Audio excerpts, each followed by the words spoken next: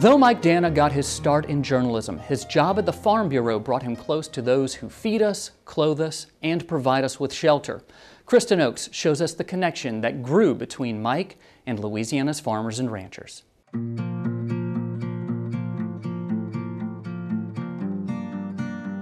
Mike Danna was more than just the voice of Louisiana agriculture, he was also a friend of the farmer. Louisiana Farm Bureau Federation second vice president Scott Wiggers saw that friendship firsthand. Mike just had that trust factor.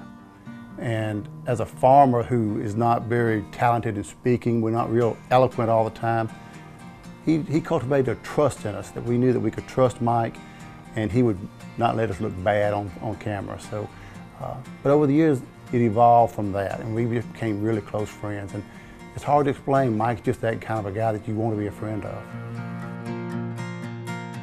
Franklin Parish farmer Adam Falk agrees and says Mike was someone he looked up to as a role model in Farm Bureau.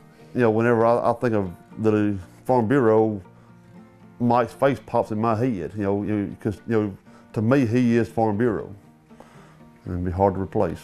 Mike not only fostered friendships with farmers across the state, but he also taught them how to better do their jobs. Mike was such an advocate. You know, I thought that what I did was growing a crop was the important thing that I did, and it was, it is.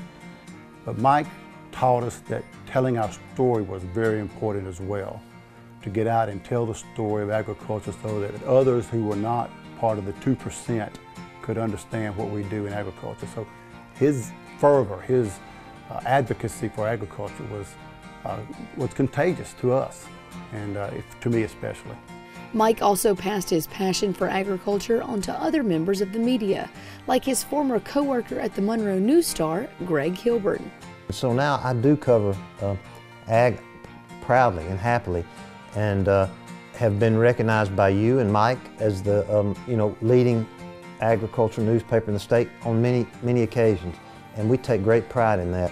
And Mike took great pride in it, and, and absolutely, uh, I would not have been covering agriculture the way I do had it not been for Mike. Louisiana Radio Network Farm Director Don Molino says that Mike also inspired him to share the story of agriculture. Agriculture is what holds this land together, holds the world together.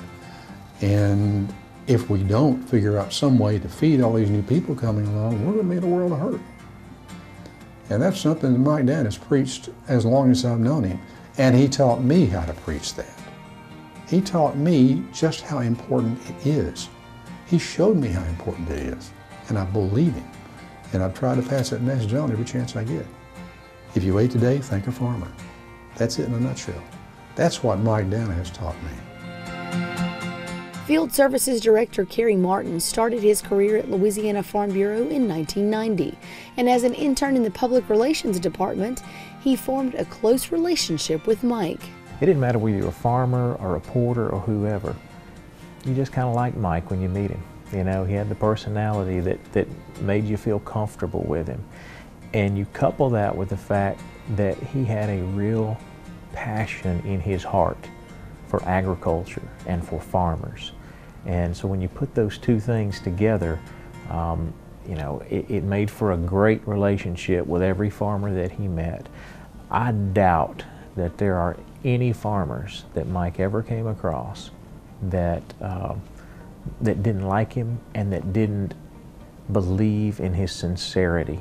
In they didn't, you know, believe in that passion that he had. I think I can speak for all farmers. It was an honor to have Mike on our farm, come out and to do stores on our farm. It was an honor to be a friend. Mike had heard that uh, we'd adopted two girls, and he said, he called me.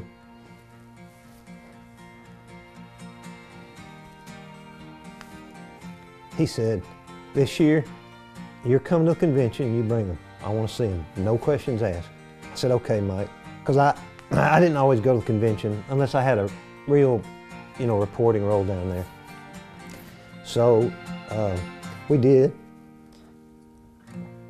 And Mike and the staff, when we went to our hotel room, he had toys laid out for both of them, all over the beds. And, uh, you know, That's the kind of person he was. He always thought of others.